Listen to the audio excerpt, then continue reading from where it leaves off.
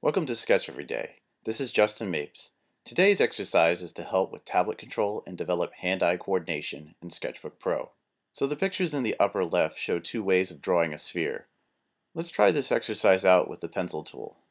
Now, when you draw this, it's not going to be perfect, but the more you practice, the better it will get. Try drawing these spheres with both the single and double cross sections. If you are using a dual screen setup, be sure to toggle the tablet to the screen you're drawing in. It seems to work much better if you're not splitting the tablet surface area. Try using your whole arm to draw your circles and ellipses. If you're wondering how to make those perfect examples at the start, it's quite easy. Just use the oval tool holding the shift key and then make your ellipses with the ellipse tool.